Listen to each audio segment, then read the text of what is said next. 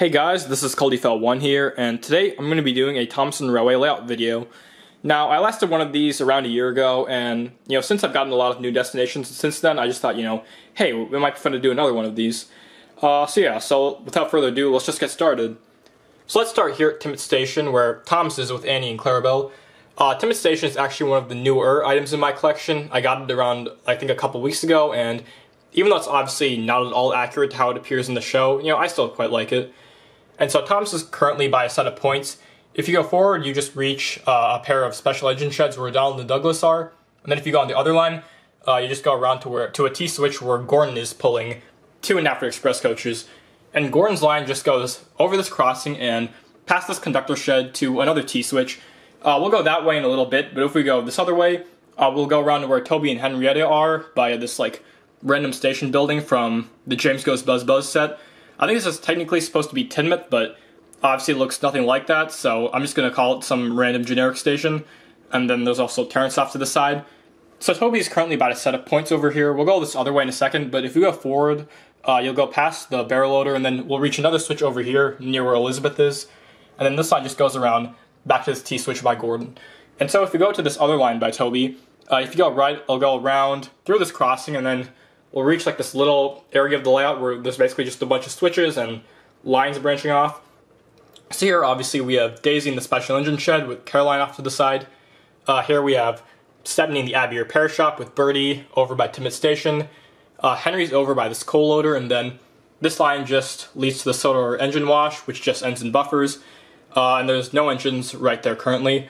Um, then if you go beyond Henry, then we'll go over the so uh, we'll go over the swing bridge, which is another relatively new item, and then we'll reach a set of points where Oliver and Toad are. And then if you go on this line, we'll go past the signal box and reach another junction where Edward and Trevor are. Uh, Edward is currently at the ice cream factory with a couple of milk tankers.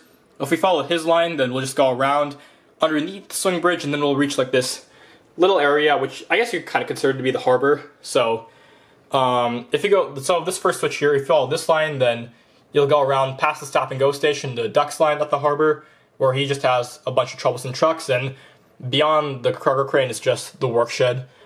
And then going back over here, oh, going back over here, uh, we'll go past another set of points, and then to Percy's line, he's just shunning a bunch of cargo cars. And then real quick, going back here, if you go on this line, then you'll just go through the single stone tunnel back to Thomas at Tidmouth. And so going back to where Duck is, his line connects with another set of points uh, and goes past Mike, who is currently in the real useful engine shed. And so his line just goes around past George underneath this bridge, and then just loops around to where Duke is with Ada, Jane, and Mabel, and there's Mr. Percival. And then one of the lines that branches from the switch by where Duke is, that just goes back to where Edward and Trevor are. And if we keep following Duke's line, we'll just go forward to a V switch. And then if we keep going beyond that, then we'll reach the fire station. So uh, here we have Belko and the shed off to the side. We got two fire trucks, Shotman and Lady Hat.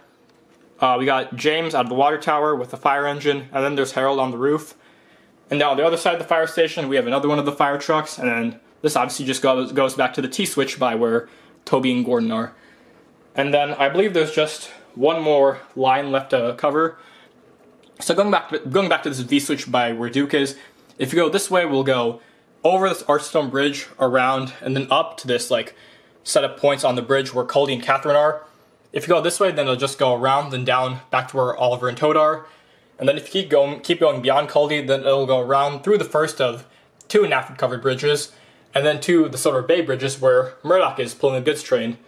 And so if you just keep going beyond that, then it'll just go through another NAFTA covered bridge, and then down and around back to the set of points by where Elizabeth is.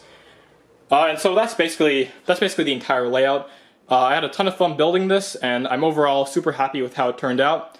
So yeah, so that's basically all for now. Thank you all so much for watching, and until next time, this is CuldeeFell1, signing out.